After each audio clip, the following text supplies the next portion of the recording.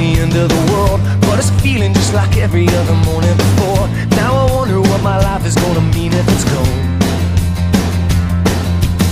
The cars are moving like a half a mile an hour, and I started staring at the passengers and waving goodbye. Can you tell me what was ever really special about me all this time?